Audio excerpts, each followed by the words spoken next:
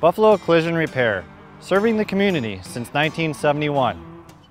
Hi, I'm Corey Bechtel from Buffalo Collision. We have been a family-owned and operated business for over 40 years. At Buffalo Collision, we put the customer first. We offer free estimates and free courtesy cars.